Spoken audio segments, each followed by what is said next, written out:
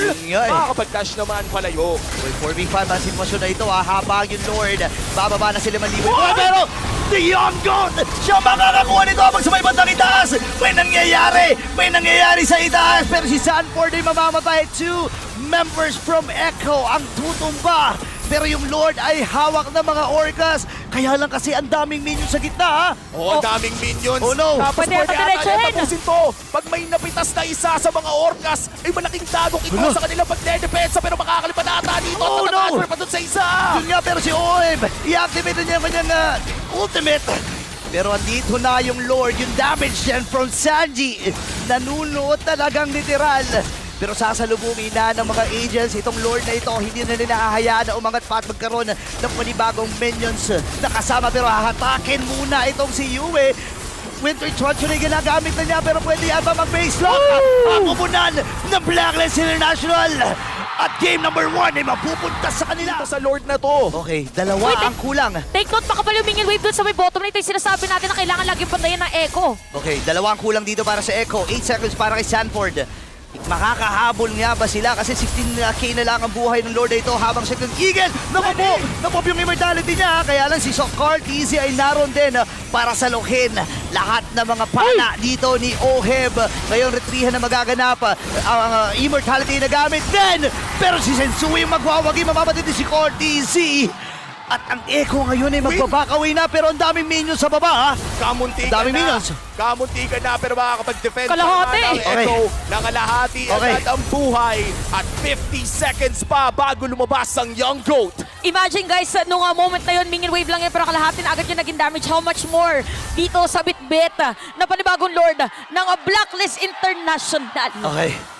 So ngayon, kakalma, kakalma yung Lord ay kasama nila. Lord Push ay parating na. Flicker play pero may shoot dog sa goal. nakaiwas ha, pero may sipa din ang gagawin. Makakabase na ka ba dito ang Blacklist International? Isang hakbang na lang.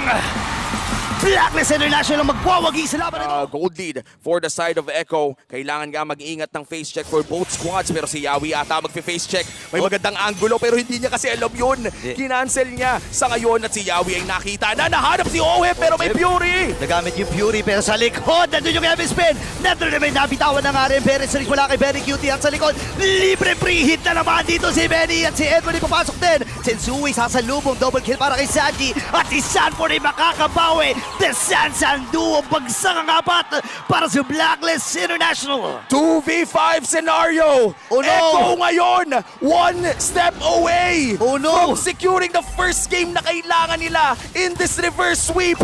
And the ball na ba? And the ball na ba? Ang taas ng Pero death timer ha. ba? Ang taas ng death timer dito. Ngayon yung flicker and penalty zone. At si Benny Cutie, isa na lang ang kanyang nakikita. At ang Torion, may extend pa ang serye courtesy of Echo. Yawi nagtatago sa bush. Hindi pa naman nabibigyan ng vision pero available ang Astral Echo. Isang magandang Astral Echo lang at makikita ang buong kupunan ng Echo pero mukhang hindi pa nila ibabato yun. Uy, sila gagamitin na Yawi naghahanap ng kakaganda yung flicker na gamit. Sabay din ang flicker. Mula dito kay Yue, may hook din nakasama. Sanji medyo napalalim pero makakuha si Cutie doon. At si Yawi mamamatay. Ngayon tuloy-tuloy ang normalan. At dapat bibitawan niya pressure shot. Ngayon, Oheb, nakakuha na ng dalawa. Atrasan muna pa ang! Orca dito. Nakikipagnormalan na rin si Benny Cutie at triple kill para kay Oheb. Mag-isa na lang si Sanji. Pero pamigil At sa mid! tuloy-tuloy yung kanilang pagabante. Mawawasak na ba ang puso ng mga orgas? Babalik na ba ang blacklist? Oh no, wala pa sila mga minions dito at ang tagal ng mga death timers. At muling babalik ang M3 Champs sa M-Series. Oh! Rinig ang enerhiya sa MPL Arena.